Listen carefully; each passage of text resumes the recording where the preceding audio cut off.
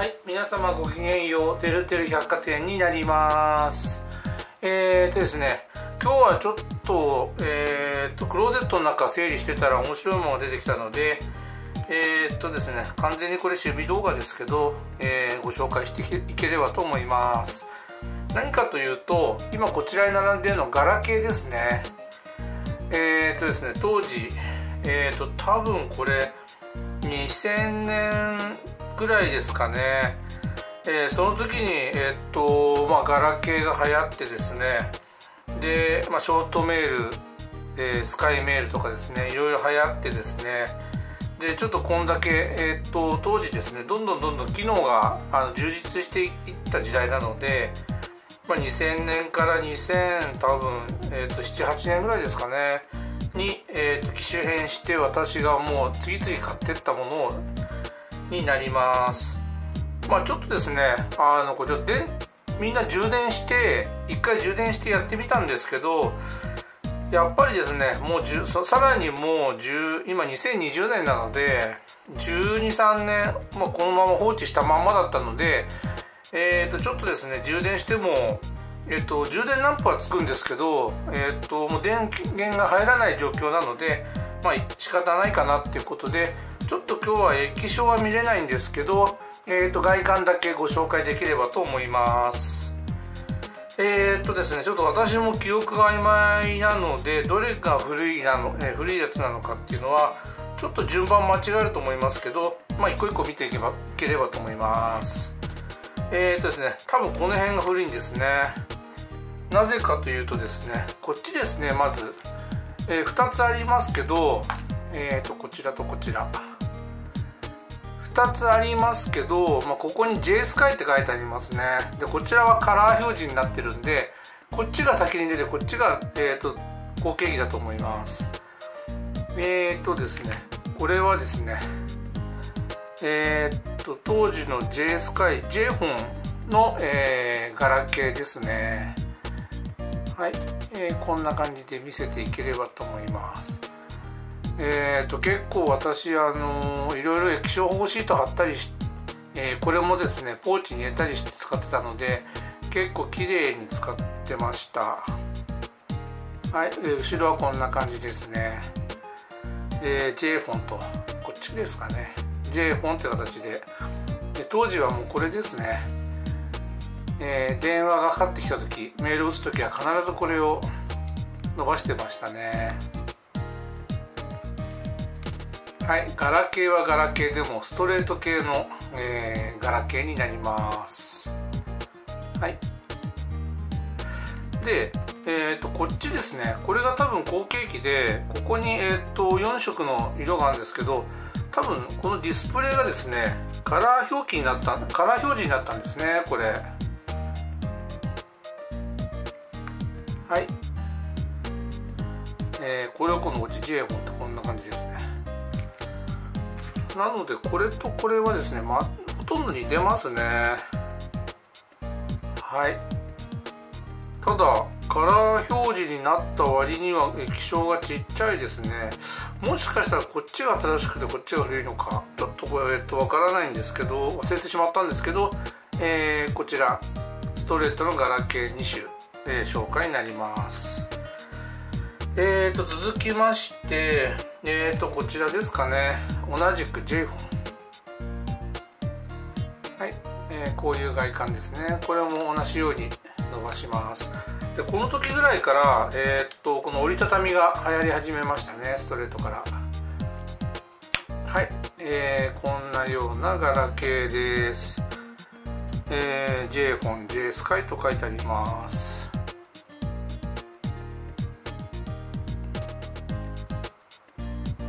こんな感じです。ねはい、えこちらになります。どうしよう開けてきますかねこんな感じで。で続きましてえーとこちらですね。やっぱり J 本ですね。はい。でここにシールが貼ってあるんですけどちょっとこれ剥がすと多分ベタベタになっちゃうのでそのまま貼っておきますけどこれ、えーと J 本なんですけどこの時にあのボーダフォンに買収多分買収されて、えー、っと会社名がボーダフォンになったのでシール貼ってくださいということで配布されました。えー、っとちょっとこれ面白いですね。こういうなんか対応の仕方が。はい。中身もですねこんな形でここにシールを貼りましたね。でちょっとこの時の特徴はこの機種の、えーと、型番が印刷してないんですね。なので調べようかなと思ったんですけどまああのこの動画、えーと、タイトル見て、えーと、見に来てる人は知ってる人だと思うので、えー、とちょっと割愛させていただきますがはい、えー、こういったものになります。はい。えっ、とかなり綺麗でこれはもうちょっと私のお宝ということで撮っとこうかなと思ってます。えーとですね次に多分古いのがどれだろう。これいきますか。au はい。えー、こういうものですね。オレンジです。はい。開けます。えー、東芝製のこれここからですねなんか型番が書いてありまして A の550 1の、えー、A の 5501T ですかね。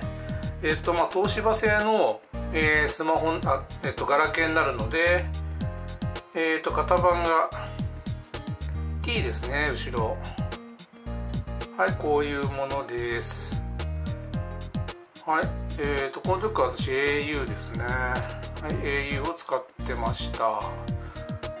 ただこれもですねやっぱりこれはえー、存在としてはそのまま残ってますね。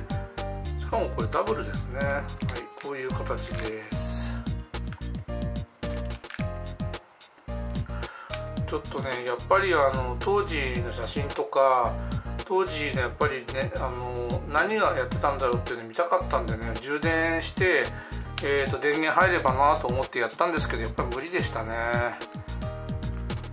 まあ多分あの秋秋葉原とか行ってそういうお店探してあのちゃんとバッテリーをもう一回買ってくればえっ、ー、と、まあ、つくとは思うんですけどちょっとこんだけあるんでえっ、ー、とちょっとですね出費がかなり高くなっちゃうのでえっ、ー、と今回はこういう形の、え本体ですねだけを見せていければと思います。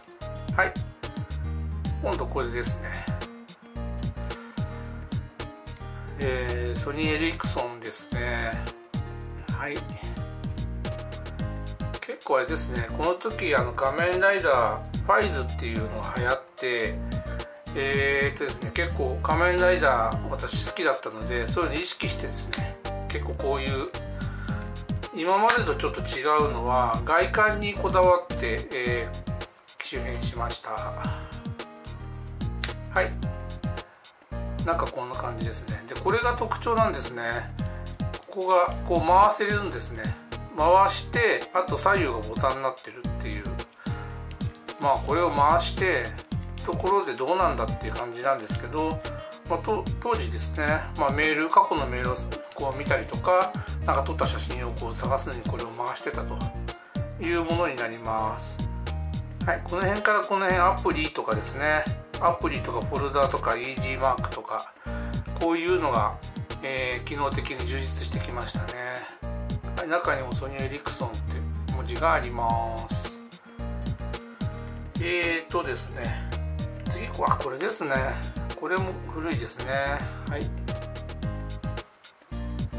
これもソニー・エリクソンになります。これちょっとこれずらしましょうかね。で開けるとはいこんな感じです。これはさっきのと違ってここ十字キーですね。はい、えー、こういうものになります。W の 32S という型番ですね。はい。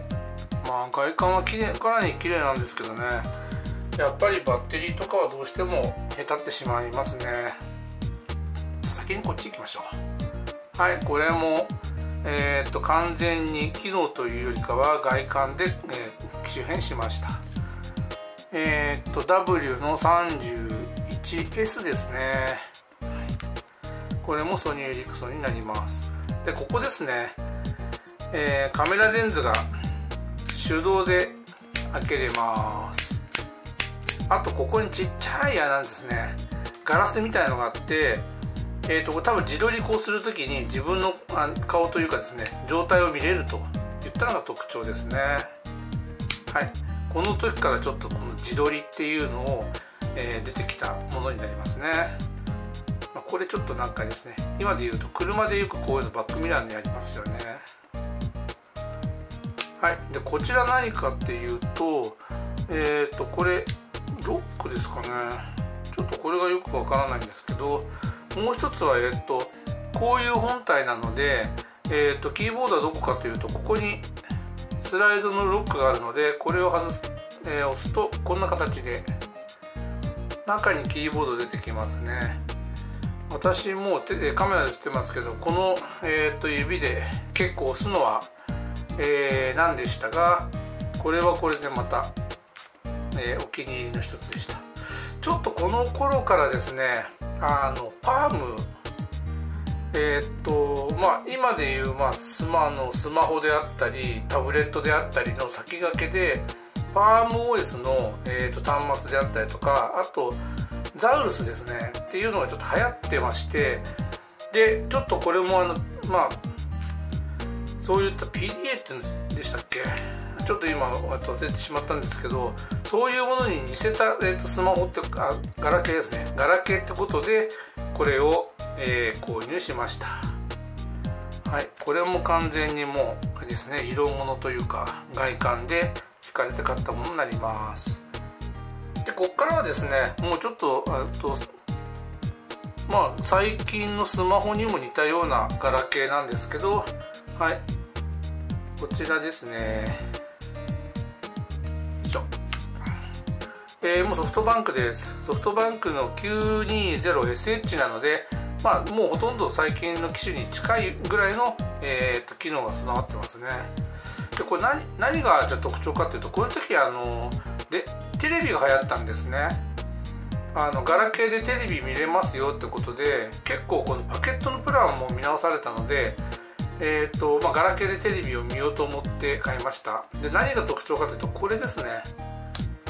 はい。こんな形であのなんかテレビモードみたいな形で、まあ、あとインターネットとかですね。テレビとかインターネットを横画面で、えー、操作して見やすくしたもののガラケーです。これがこう回るんですね。はいこんな形で。こんな形で回ります。ちょっとねこの辺からやっぱりえー、っともうこのガラケーで、えー、インターネットテレビを見るっていうのを意識してきたような方が増えてきましたね。はい。こちらです。これはまあ外観特に特徴がなくて、えー、まあ開けてえーとこれも日立ですね。au ですね。W の 43H なのでこれよりかはこれよりかは、えー、と古いですね。こっちの方が。はい、ただこれも、えー、さっき言った自撮りが流行った時代のガラケーなので、えー、とこれがですね回るんですねこう。回ってえっ、ー、とまあこれ自撮りってわけじゃなくてこれでなんかインターネットとかえっ、ー、と、まあ、テレビをこう見たりって感じですね。なのでえっ、ー、と自撮りが流行ったのは、まあ、さっきのえーと、ものがあるんですけどこれはその自撮りが流行った時期とこのテレビですねテレビとかインターネットを見やすく、えー、形状を、えーと、変形させるっていう意味でいくとこれが、えっ、ー、と多分その前ですね先駆けでこれが、えー、このディスプレイを回して何かをこう見やすくすると。ただですねこれこうなったからってこうあ今の iPhone みたいに、えー、とタッチパネルかというとこれタッチパネルじゃないんですねこれ確か。なのでこれただこう見やすいんですけど、えー、とここに、えー、と音量ボタンと多分上下ボタンがあるんでこの辺がいっぱいですね。この辺ボタンがいっぱいあるのでそれで何かこう操作しながらこうスライドしてみるって感じですね。まあ、これでこうあれですねタッチパネルだと当時すごく、えー、革新的なものだったんですけどそういうわけではないですねこれ。はいこういうものです。じゃあ最後になります。でえー、っとこれはもう2017年17年ぐらいですかね、えー、前後に流行ったもの、えっと、出たものでこれはえー、っとガラケーの形をしたえ、っと確かですね。えっと Android 携帯です。はい、えー、アクオスですね。アクオスの、えーと、ガラケーの形をした、えー、Android 携帯になります。はい。ちょっとですねこれをなんで、えーと、あえて、まあ、紹介というかここにあるかっていうと,、えーと、やっぱりガラケーの形が、えー、と電話しやすい。あとやっぱりメール見るだけだったらこれが操作しやすいってことで、えー、とこちら一時的に私使ってました。確かにこれすごく、えー、と使いやすいのとあと OS 自体が Android なので Android なので、えー、と非常にこれ、えー、と使いやすかったですね。えー、っとですねこれ SIM ロックすれば使えるのかわからないんですけど使えないのかな。できれば、えー、っとまたえー、っと Android の、え、ガラケー型、え、を使い,、まあ、使いたいなスマホっていうんですかね。使いたいなと思っております。はい。という以上になります。まあ本当はですね私これ以外にも、えーと、家のどっか探せばえっ、ー、とまあこれはガラケーですけどえっ、ー、とザウルスとかあとはファーム OS ですね。ファームとか結構ね眠ってるんですねそういうものが。なのでちょっとまあこれは今回、えーと、ご紹介させていただきましたけど、まあ、そういった昔のものもですねあのご紹介できればと思っておりますのではい。えー、まあよろしければえっ、ー、とまあ私結構ですね雑誌の、えーと、付録のレビュー紹介もしてますけどえっ、とですね、まあ、こういった形で、えっと昔の、えー、ガラケーであったり今お話ししたファーム、えー、ザウルスっていうもののもですね、まあ、ご紹介できればと思ってますのでまあ、えー、趣味動画と思っていただければと思います。はい。あちょっと待ってください。ここにもう一個ありましたね。ちょっと見逃してました。アクオスの SH01 です。これ完全にもうあれですね。カメラを意識した、えー、ガラケーですね。ちょっとこれサクッとじゃあ見せましょう。はい。ソフトバンクの、えー、933SH ですね、えー、型番的にはもう最近のものですね。はい。でこれえーと、カメラカメラも意識したものなのでこれ回せるんですよ同じく。はい。回してここにカメラあるのでこう写真を撮ると。そうするとデジカメですね。もうほとんどデジカメと同じですね。ここで、えー、確認して写真を撮れると。確かですね。こうすればなんか自撮りもできたような気がするんですけどえー、っとちょっとうろ覚えなので、えー、適当に喋ってるかもしれないですけどなんかこうなるとあれですよね。こう自撮りができそうな感じですね。ただ当時の私の記憶だとパタンと閉めるとなんかちゃんと液晶が映ってえー、こういうデジカメの形になる。これはですね。ほとんどデジカメですね。はい。えー、ちょっと今トークが、えー、締めに入ってました。がたまたま、えー、と目の前に置いてあったので紹介追加で紹介しました。なんかですね冒頭で紹介したものは開けておいてきますっていうのがちょっとこう生かされた感じですね。なんてちょっと全然関係ないですけどそういったところになります。はい。